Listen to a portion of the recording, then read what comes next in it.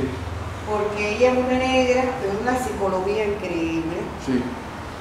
Y es que, me- es que tiene un dominio del ser humano que me llama la atención. Sí. Porque yo creo que eso, todo eso es un poco. eh, explotan eso, pero todo es energía. Y a veces te hablan como no te es capaz de hablar un científico, un psiquiatra, un psicólogo. Entonces te, te, te hacen como